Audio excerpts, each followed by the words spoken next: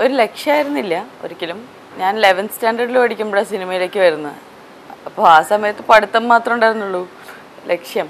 അപ്പോൾ നമ്മുടെ സ്കൂളിലെ പ്രിൻസിപ്പളാണ് എന്നെ അഭിനയത്തിലേക്ക് വഴി കാണിച്ചു തന്നത്.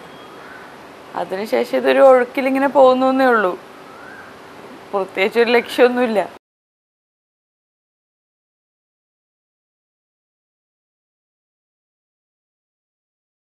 ഞാനൊരു ക്ലിനിക്കൽ സൈക്കോളജിസ്റ്റ് ആയിരുന്നേനെ. എന്താണെന്ന് വെച്ചാൽ ഞാൻ ക്ലിനിക്കൽ സൈക്കോളജിസ്റ്റ് ആണ്. ഞാൻ ബോംബെയിൽ വർക്ക് ചെയ്തിരുന്നു. ഇന്റേൺഷിപ്പിന്റെ ഭാഗമായിട്ട്. പക്ഷെ അപ്പോഴേ എനിക്ക് ഇങ്ങനെ ഒരു ഓപ്ഷനും കൂടെ ഓപ്പൺ ആയിരുന്നുകൊണ്ട് അഭിനയം ഇങ്ങനെ ഒരു മേഖല നമ്മുടെ ലൈഫിൽ ഓപ്പൺ ആയിരുന്നുകൊണ്ട് അതല്ലേ സുഖം? അതല്ലേ എന്താ അഭിനയത്തിലേക്കുള്ള ഒരു എനിക്ക് തോന്നുന്നു ഒരു ആർട്ടിസ്റ്റിന് എപ്പോഴും അങ്ങോട്ടൊരു ചായ്വ് ഉണ്ടാവും തോന്നുന്നു. അപ്പോൾ തിരിച്ചിങ്ങോട്ട് അങ്ങനെ തിരിച്ചെത്തി.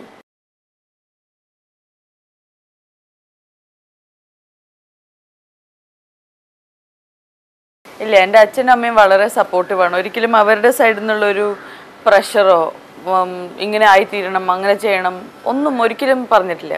കുട്ടിക്കാലം മുതലേ ഞാൻ ഒരു പഠിപ്പിസ്റ്റായിരുന്നു സ്കൂളിലും കോളേജിലൊക്കെ അപ്പോൾ പ്രത്യേകിച്ച് പഠിത്തത്തിന്റെ കാര്യത്തിൽ അവർക്കൊന്നും പറയേണ്ടി വന്നിട്ടില്ല. അഭിനയം ഇങ്ങനെ സ്കൂൾ വഴി തന്നെ അഭിനയം വന്നു. അഭിനയിക്കാൻ ഒരുപാട് പ്രോത്സാഹിപ്പിച്ചിട്ടുണ്ട്. പേരൻസ് അല്ലാതെ അവരുടെ സൈഡിൽ നിന്ന് ഒരു പ്രഷറോ എക്സ്പെക്റ്റേഷൻസോ ഉണ്ടായിട്ടില്ല.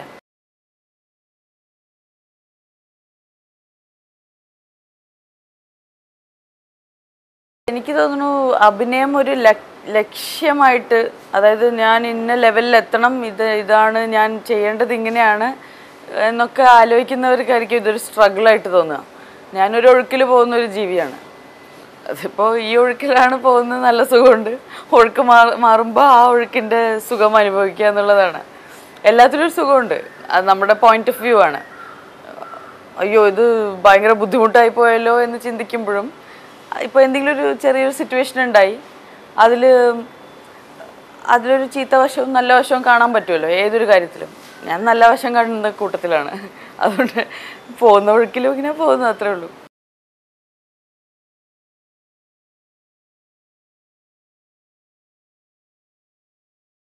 രണ്ടാം ഭാവം എന്ന് പറഞ്ഞ സിനിമയൊക്കെ റിലീസായതിനു ശേഷം അത് റിലീസായതും എന്റെ ഡിഗ്രി റിസൾട്ട്സ് പുറത്തു വരുന്ന ഒരേ സമയത്തായിരുന്നു. അപ്പോൾ എനിക്കൊരു ചോയ്സ് ഉണ്ടായിരുന്നു. എനിക്കിനി അടുത്ത എന്ത് എങ്ങനെ നീങ്ങണം എന്ന് ചിന്തിക്കാൻ ഒരു ഓപ്പണിംഗ് ആയിരുന്നു. ഡിഗ്രി കഴിഞ്ഞ വഴിക്ക് ഇനി ഫുൾ ടൈം സിനിമയിലേക്ക് പോകണോ അത് ഫുൾ ടൈം ഇനി പഠിത്തത്തിലേക്ക് പോകണോ രണ്ടും കൂടെ കൊണ്ടുനടക്കാൻ പറ്റില്ല എന്നറിയായിരുന്നു പി ജി നമുക്ക് ഇതിന്റെ ഒപ്പം രണ്ടും കൂടെ നടക്കില്ല എന്നറിയാം അന്ന് എനിക്ക് തോന്നിയില്ല സിനിമ എന്താ കാര്യം? എസ്പെഷ്യലി രണ്ടാം ഭാവം ബോക്സ് ഓഫീസ് വിജയമായിരുന്നില്ല പക്ഷെ എല്ലാവർക്കും സിനിമയെ പറ്റി ഭയങ്കര അഭിപ്രായമായിരുന്നു. പക്ഷെ ഓടിയില്ല. അതും കൂടെ ആയിരിക്കും. എന്താ കാര്യം ഇവിടെ നിന്നിട്ട് എന്നൊക്കെ തോന്നി തോന്നിയ ആ സമയത്ത്. എന്നിട്ട് ഞാൻ ഒരു മൂന്ന് വർഷം കംപ്ലീറ്റ്ലി അഭിനയത്തിൽ നിന്ന് മാറി നിന്നു. ബോംബെയിലേക്ക് പോയി എന്റെ പോസ്റ്റ് ഗ്രാജുവേഷൻ കംപ്ലീറ്റ് ചെയ്തു. അങ്ങനെ മൂന്ന് വർഷം ഞാൻ മാറി നിന്നു. ഇത് അതായത് ഒരു കാര്യം വേണ്ടാന്ന് തോന്നിയാൽ അത് വേണ്ടാന്ന് വെക്കണം എന്നുള്ള കൂട്ടത്തിലാണ്.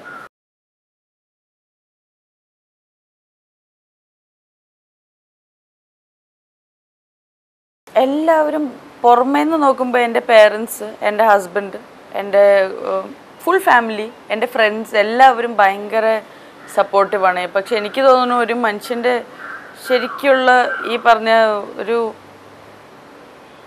സ്ട്രെങ്ത് നമ്മുടെ ഉള്ളിൽ നിന്ന് തന്നെ വരണം എന്നാണ് എന്റെ അഭിപ്രായം. എന്റെ എക്സ്പീരിയൻസും അതായത് വേറെ പല സിറ്റുവേഷൻസിലും ഇപ്പോൾ വേറൊരാൾക്ക് നമുക്ക് അവരോട് ദേഷ്യം തോന്നുന്ന രീതിയിൽ പെരുമാറിയാൽ അവർക്ക് നമ്മളോടുള്ള സപ്പോർട്ട് പോവും. പക്ഷെ നമുക്ക് നമ്മളോടുള്ള സപ്പോർട്ട് ഒരിക്കലും പോവില്ല.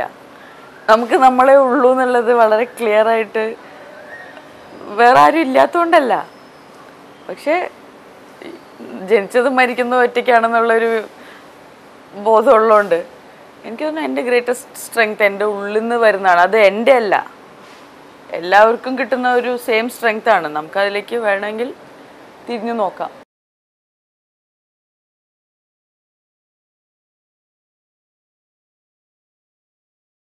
ജീവിതത്തെ ഒരിക്കലും സീരിയസ് ആയിട്ട് കാണാറില്ല എന്നുള്ളതാണ് സത്യം. സീരിയസ് ആയിട്ട് കാണണോ? നല്ല തമാശ ചിരി കളിയായിട്ട് കാണണോ എന്ന് തീരുമാനിക്കുന്നതും നമ്മളാണല്ലോ. സീരിയസ് ആയിട്ട് കണ്ടാൽ നമ്മൾ വല്ലാണ്ട് സീരിയസ് ആയി പോകും നമ്മൾ എല്ലാം വളരെ സീരിയസ് ആയി കണ്ടു കഴിഞ്ഞാൽ ചെറിയ ചെറിയ കാര്യങ്ങൾ നമ്മൾ നമ്മൾ സീരിയസ് ആയിട്ട് പ്രതികരിക്കുന്നേ ഉള്ളൂ. അത് ബാക്കിയുള്ളവർക്ക് ചിലപ്പോൾ ബുദ്ധിമുട്ടാവും. എല്ലാം നിസ്സാരമായിട്ട് കാണാൻ പറ്റിയാൽ എനിക്ക് തോന്നുന്നു അതാണ് സുഖം.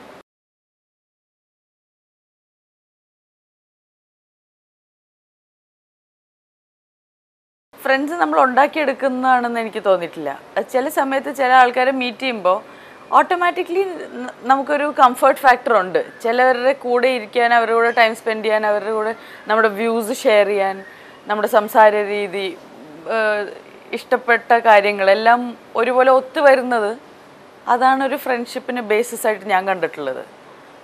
അല്ലാതെ നമ്മൾ മനഃപൂർവം ഒരാളെ കണ്ടു അയ്യാളെ ഞാൻ എന്റെ ഫ്രണ്ട് ആക്കും എന്ന് പറഞ്ഞിട്ട് കാര്യമില്ലല്ലോ. അങ്ങനെ പലരുണ്ട്. നമ്മൾ ഫോൺ വിളിച്ചിട്ട് എനിക്ക് നിങ്ങളുടെ ഫ്രണ്ട് ആവണം എന്ന് പറയുന്ന ആൾക്കാരുണ്ട്. അതെങ്ങനെയാ ആവാൻ പറ്റുക? ആയി പോണതല്ലേ. ഫ്രണ്ട് എനിക്ക് ഫ്രണ്ട്ഷിപ്പ് ആയി പോണ ഒരു കാര്യമാണ്.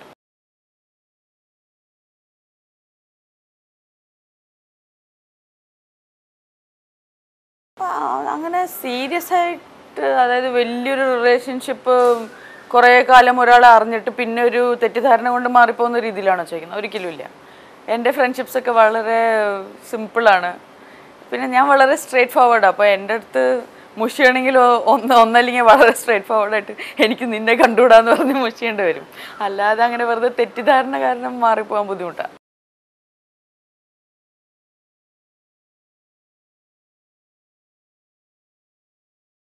എൻ- എന്റെ ഒരു കാര്യം ഞാനൊരു ക്വാളിറ്റി ആയിട്ട് എടുത്ത് പറയുകയാണെങ്കിൽ അതിന്റെ ഒരു ഓപ്പോസിറ്റ് ഉണ്ടെന്ന് ഞാൻ അറിയണമല്ലോ. അതായത് ഞാൻ എല്ലാം ഞാൻ ഞാൻ ഭയങ്കര ജനറസ് ആണെന്ന് പറയുകയാണെങ്കിൽ വെറുതെ ഒരു എക്സാമ്പിൾ ഞാൻ ഭയങ്കര ദാനശീലയാണ്. എന്ന് പറയണമെങ്കിൽ പിശുക്ക് എന്താണെന്ന് അറിയാത്ത ഒരാളെങ്ങനെയാണ് ഞാൻ ഭയങ്കര ദാനശീലയാണെന്ന് പറയുന്നത്? അപ്പം ഞാൻ പറയുന്നത് ഞാൻ എങ്ങനെയാണോ ഞാൻ അങ്ങനെയാണ് അത്രേ ഉള്ളൂ. അതിൽ അത് ചിലപ്പോൾ ചിലർക്ക് കാണുമ്പോൾ ക്വാളിറ്റി ആയിട്ട് തോന്നും ചിലർക്ക് കാണുമ്പോൾ ചിലർക്ക് ഭയങ്കര ഫ്രീ ആയിട്ട് സംസാരിക്കുന്ന ഒരാൾ വളരെ ഫ്രാങ്ക് ആയിട്ട് വളരെ ഫ്രീ ആയിട്ട് സംസാരിക്കുന്ന ഒരാളാണെന്ന് ഒരാൾക്ക് തോന്നാം. മറ്റേ ആൾക്ക് ഓ എന്തൊരു വായാടി അതിന് മിണ്ടാണ്ടിരുന്നൂടെ എന്ന് തോന്നാലോ?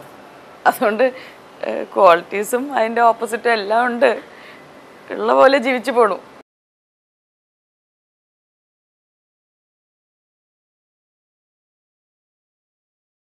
വായന ഒരുപാടുണ്ട്. എഴുത്ത് പിന്നെ എഴുത്തെന്ന് പറയാൻ പറ്റില്ല അതിനെ. വെറുതെ തോന്നിയതെല്ലാം കുറിച്ചിടുക എന്നുള്ളതേ ഉള്ളൂ. സീരിയസ് ആയിട്ട് എഴുത്ത് എന്ന് പറഞ്ഞ് ഇരുന്ന് ഒരു കാര്യം എഴുതണം എന്ന് വിചാരിച്ച് എഴുതാറില്ല. പക്ഷെ കുറേ എഴുതി കൂട്ടിയിട്ടുണ്ട്.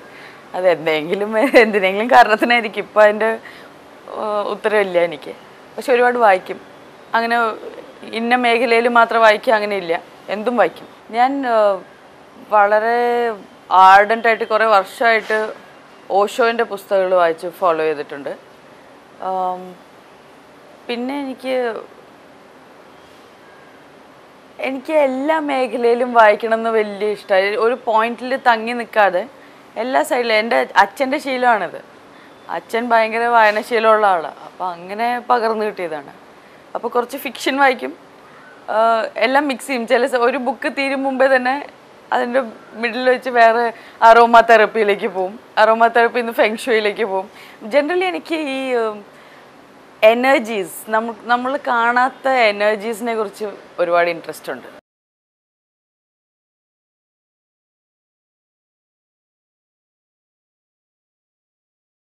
വേദനകളെല്ലാം എനിക്ക് എനിക്ക് ആ വേദനിച്ചിട്ടുണ്ടാവും. ഞാൻ ലൈഫിൽ വേദനിച്ചിട്ടേ ഇല്ല എന്ന് പറയുന്നില്ല. പക്ഷെ എനിക്ക് ആ നേരത്ത് വേദനയായിട്ട് തോന്നിയത് ഒരു നെക്സ്റ്റ് ഒരാഴ്ചക്കുള്ളിൽ പിന്നെ അത് ആലോചിക്കുമ്പോൾ നമുക്ക് ഒരിക്കലും നമ്മുടെ വേദനകളത് സ്ഥായി അല്ല അതുകൊണ്ട് ഇപ്പോൾ അങ്ങനെ ചോദിച്ചാൽ അടുത്ത കാലത്തൊന്നും എനിക്ക് ഓർമ്മിക്കാവുന്ന എക്സ്പീരിയൻസ് ഒന്നുമില്ല.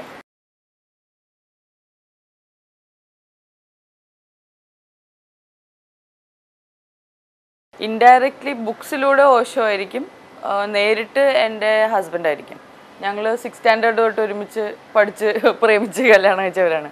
അപ്പോൾ അതുകൊണ്ട് ഞങ്ങളുടെ ചിന്താഗതിയൊക്കെ ഒരേപോലെയാണ് ഈ കുട്ടിക്കാലം തൊട്ട് പത്ത് പന്ത്രണ്ട് വയസ്സിലൊക്കെ ഇങ്ങോട്ടും അങ്ങോട്ടും പറയുന്ന കാര്യങ്ങളൊക്കെ നമുക്ക് ആ സ്വാധീനിക്കുമല്ലോ. അയാൾ പറയുന്ന എല്ലാം എന്നെ സ്വാധീനിച്ചിട്ടുണ്ട്. ഞാൻ പറയുന്നതൊക്കെ അഭിനയ സ്വാധിച്ചിട്ട് സ്വാധീനിച്ചിട്ടുണ്ട്. ഒരിക്കലും പന്ത്രണ്ട് വയസ്സിൽ നമുക്ക് പ്രണയം ഫീൽ ചെയ്യാൻ പറ്റില്ല. പക്ഷെ എൻ- എന്റെ വിശ്വാസത്തിൽ ഞങ്ങൾക്ക് എന്തോ മുൻജന്മ ബന്ധമുണ്ടെന്നാണ് തോന്നുന്നത് അല്ലെങ്കിൽ ഈ പന്ത്രണ്ട് വയസ്സിൽ വെറുതെ ഒരാളെ കാണുമ്പോൾ തന്നെ ആ മനസ്സിലായി. അപ്പോൾ അന്ന് തൊട്ട് പിന്നെ അതിലൊരു കൺഫ്യൂഷൻ ഉണ്ടായിട്ടില്ല. രണ്ടുപേരും ഇങ്ങോട്ടും അങ്ങോട്ടും വളരെ സപ്പോർട്ടീവാണ് വളരെ അണ്ടർസ്റ്റാൻഡിങ് ആണ്. എനിക്ക് തോന്നുന്നു അതൊന്നും വെറുതെ പ്രണയം എന്ന് പറഞ്ഞ് നമ്മുടെ നോർമൽ പ്രണയമായിട്ട് എനിക്ക് ക്ലാസിഫൈ ചെയ്യാൻ പറ്റുന്നില്ല. നോർമൽ പ്രണയം എന്ന് ഞാൻ വേറൊന്നും അറിഞ്ഞിട്ടില്ല. അതുകൊണ്ട് ചിലപ്പോൾ സിനിമകളിൽ ഞാൻ കണ്ടിട്ടുള്ള പ്രണയത്തെക്കുറിച്ചുള്ള അഭിപ്രായമായിരിക്കും ഞാൻ പറയുന്നത്.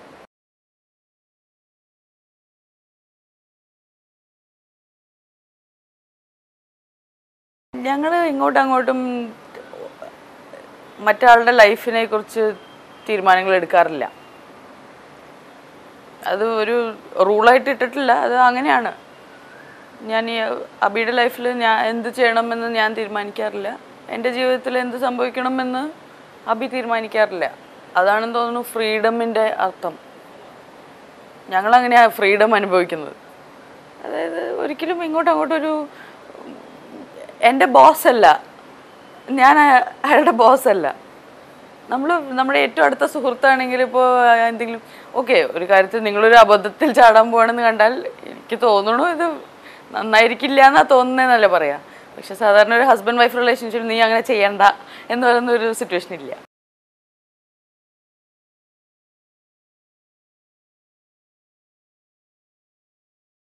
നാളെ ഞാൻ ഉണ്ടാവുമോ ഇല്ലയോ എന്ന് എനിക്കറിയില്ലല്ലോ. അപ്പോൾ അങ്ങനെ യാതൊരു ആശങ്കയുമില്ല. അതായത് എനിക്ക് തോന്നുന്നു ദൈവവിശ്വാസമാണ് ഇതിന്റെ ഒക്കെ പിന്നിൽ ഇത്രയും സ്ട്രോങ് ആയിട്ട്. അതായത് നാളത്തെക്കുറിച്ച് ബോധറേഷൻ ഇല്ലാതെ ജീവിക്കാൻ പറ്റുന്നത് എനിക്ക് ദൈവത്തിൽ വിശ്വാസമുള്ളതുകൊണ്ടാണ് ദൈവം നോക്കിക്കോളും. നമ്മളെന്തിനാണ് ടെൻഷൻ അടിക്കുന്നേ?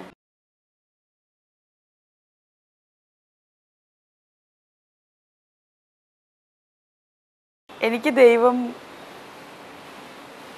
എല്ലാം ഒന്നുമല്ലാത്തതും കൂടിയിട്ടുള്ളതാണ്. ഓൾ ആൻഡ് നത്തിങ് രണ്ടും കൂടെ കൂടിയാലാണ് ദൈവം എന്ന് പറയാൻ പറ്റുള്ളൂ. ദൈവത്തിലല്ലാത്ത ഒന്നുമില്ല. ദൈവം എന്ന വാക്കാണ് അത്രേ ഉള്ളൂ എനിക്ക്. ദൈവം വെറും ഒരു വാക്കാണ് ഇത് പറയാൻ. എന്ന് വെച്ചാൽ ഇത് എന്താണെന്ന് പറയാൻ വേറെ വഴിയില്ലാത്തതുകൊണ്ട് അപ്പോൾ ആ ഒരു എല്ലാം എല്ലാത്തിൽ ഞാനൊരു ചെറിയൊരു അംശം. ആ അംശം എന്തിനാ ടെൻഷൻ അടിക്കണേ? എല്ലാം നോക്കിക്കോളും.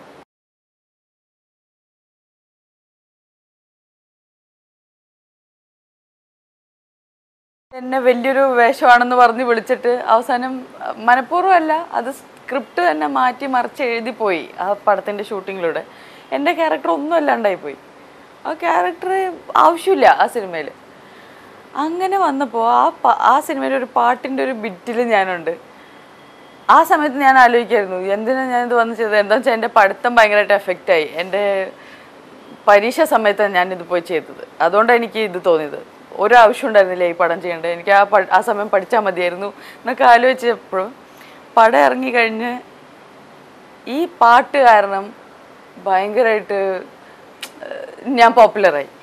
അപ്പം നമുക്കൊന്നും പറയാൻ പറ്റില്ല അതാണ് ഞാൻ പറഞ്ഞു ഒരിക്കലും ഒരു സാധനവും എല്ലാം കൊണ്ടും നെഗറ്റീവ് എല്ലാം കൊണ്ടും പോസിറ്റീവ് അല്ല. അത് എന്തെങ്കിലുമൊക്കെ വരാനുണ്ടാവും. അപ്പോൾ നമ്മളത് ഓ മോശമായി പോയി വേണ്ടിയിരുന്നില്ല എന്നാലോചിച്ചാൽ നമ്മുടെ ആ മൈൻഡ് സെറ്റ് കൊണ്ട് തന്നെ എല്ലാം മോശമായി തന്നെ നമ്മൾ നമുക്ക് അങ്ങനെ കാണാൻ പറ്റുള്ളൂ.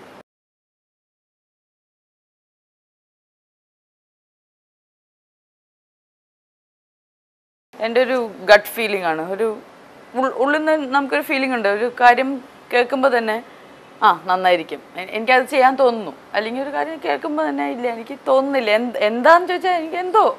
എനിക്ക് തോന്നുന്നില്ല. ആ പടം ചെയ്യാൻ തോന്നുന്നില്ല. എന്ന് പറഞ്ഞാൽ അത്രേ ഉള്ളൂ. അങ്ങനെ ചെയ്യരുത്. വേറെ ഒന്നും മാനദണ്ഡമല്ല. നമ്മുടെ ഇന്റേണൽ ഒന്നുമല്ല. ഒന്നുമല്ല. പുറമേയുള്ള ഒരു കാരണത്തിലും ബാങ്ക് ചെയ്തിട്ടില്ല. ചില സമയത്ത് വളരെ നല്ലൊരു സംഭവമാണെങ്കിലും നമുക്ക് ഉള്ളിൽ നിന്ന് തോന്നുക വേണ്ടാന്ന് തോന്നുക. അപ്പോൾ വേണ്ട അത്രേ ഉള്ളൂ. അതിനൊരു കാരണമൊന്നുമില്ല എനിക്ക്.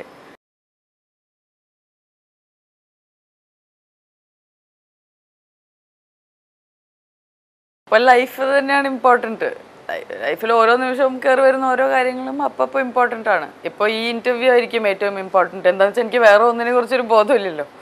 അത്രേ ഉള്ളൂ. അല്ലാതെ ഒരു കാരണ കാര്യത്തിനെ പിടിച്ച് എനിക്ക് ഇതാണ് ഇഷ്ടം എന്ന് ഞാൻ പിടിച്ച് ഇരുത്തി കഴിഞ്ഞാൽ ആ സാധനം നഷ്ടപ്പെട്ട് കഴിഞ്ഞാൽ ഞാൻ എന്ത് ചെയ്യും? മരിച്ചു പോവോ?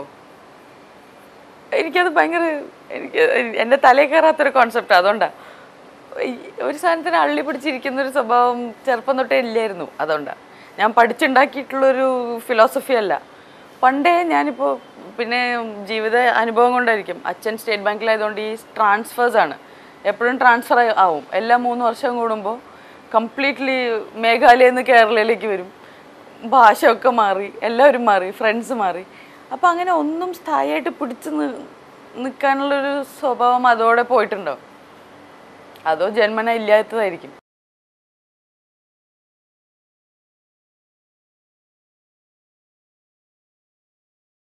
അല്ല അതായത് ഇത് ഹോൾ തിങ് ഇത് മുഴുവൻ ഒഴുക്കായിട്ട് എനിക്ക് കാണുന്നുള്ളൂ. അതായത് ഇപ്പോൾ എന്താ പറയുക നമുക്കൊരു മാറ്റം വരുത്താൻ പറ്റുന്ന ഒരു സിറ്റുവേഷൻ ആണെങ്കിൽ ഇപ്പോൾ എന്റെ മുമ്പിലൊരു സംഭവം നടന്നുകൊണ്ടിരിക്കുന്നു എനിക്ക് അതിൽ എന്തെങ്കിലും ചെയ്യാൻ പറ്റുന്നുണ്ടെങ്കിൽ ഞാൻ അതിൽ ഇൻവോൾവ് ആവും. ജനറലി ലോകത്ത് നടക്കുന്ന കാര്യങ്ങളിലെല്ലാം നമുക്ക് ഡെഫിനറ്റ്ലി പങ്കുണ്ട്. പക്ഷെ അത് നമ്മുടെ ഫിസിക്കൽ പ്രസൻസ് കൊണ്ട് മാറ്റാൻ പറ്റുന്നതല്ല. ഞാനൊരു സൈഡിൽ സൈലന്റ് ആയിട്ടിരുന്ന് മെഡിറ്റേറ്റ് ചെയ്താൽ ഒരു പക്ഷേ ഞാൻ പുറത്തു പോയിട്ട് അല്ലെങ്കിൽ ഒരു സിറ്റുവേഷന് വേണ്ടി പ്രാർത്ഥിച്ചാൽ ഒരു പക്ഷേ ഞാൻ ഒരു സിറ്റുവേഷനിൽ പോയിട്ട് വെറുതെ കയറി രണ്ട് വാക്ക് അനാവശ്യമായിട്ട് പറഞ്ഞ് അതിനുവേണ്ടി ന്യൂസിൽ വന്ന് അതിലൊരു പ്രൊപ്പഗാൻഡ ഉണ്ടാക്കി അതിലൊരു വലിയൊരു സ്കാൻഡലുണ്ടായി അത് ആക്ച്വലി വേസ്റ്റാണ് അതേ സമയത്ത് ഞാൻ മാറിയിരുന്ന് ഇപ്പോൾ ഫ്ലഡ്സ് നടക്കുന്ന എർത്ത് നടക്കുന്ന സ്ഥലത്തും എല്ലാത്തിനും പ്രാർത്ഥിച്ചാൽ ചിലപ്പോൾ എനിക്ക് തോന്നുന്നു കുറച്ചും കൂടി ഇഫക്റ്റ് ഉണ്ടാവും. അല്ലാതെ ഞാൻ നേരിട്ട് ഇറങ്ങി ചെന്ന് വർക്ക് ചെയ്യാൻ പറ്റുന്ന ഒരു സിറ്റുവേഷനിലല്ല ഞാൻ. പലർക്കും അത് പറ്റുന്നുണ്ട്. പലരും പല രീതിയിൽ ആക്റ്റീവാണ് അവരുടെ എനർജീസ് ഇപ്പോൾ ചിലവർ സോഷ്യൽ ആക്ടിവിസ്റ്റ് ആണ്. ഞാനൊരു സോഷ്യൽ ആക്ടിവിസ്റ്റ് അല്ല. അപ്പോൾ ഹിമാലയയിൽ പർവതത്തിന് മുകളിൽ കയറി ഇരിക്കുന്ന സന്യാസിയോ സോഷ്യലി ആക്റ്റീവ് ഒരു സോഷ്യൽ ആക്ടിവിസ്റ്റ് തമ്മിൽ നമുക്ക് കമ്പയർ ചെയ്യാൻ പറ്റില്ല. ഓരോരുത്തർ അവരവരുടെ കാര്യം ചെയ്യണം.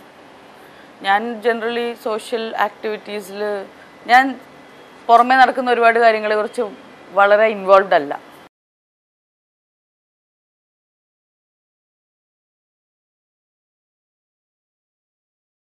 ടേണിംഗ് പോയിന്റ് എന്ന് പറഞ്ഞാൽ അത് അറിയില്ല.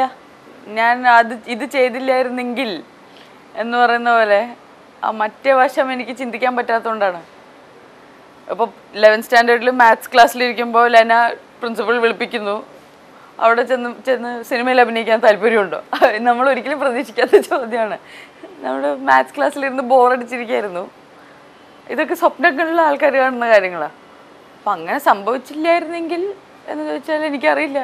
എന്ത് സംഭവിക്കായിരുന്നു? ഞാൻ മാത്സ് പഠിച്ചുകൊണ്ടിരുന്നതിന് അന്ന്. പിന്നെ അവിടെ നിന്ന് അങ്ങോട്ട് ലൈഫ് എന്തായി തീരുന്നു നമുക്ക് പറയാൻ പറ്റില്ലല്ലോ. അതുകൊണ്ട് ടേണിംഗ് പോയിന്റ് ഒരു ടേണിംഗ് പോയിന്റ് ആയിരുന്നു ഡെഫിനറ്റ്ലി ഡെഫിനറ്റ്ലി വലിയൊരു ടേണിംഗ് പോയിന്റ് ആണ്. പക്ഷെ ഈ പോയിന്റിൽ നിന്നുകൊണ്ട് ഇപ്പോൾ അത് എവിടെ വെച്ചായിരുന്നു എന്ന് പറയാൻ പറ്റില്ല.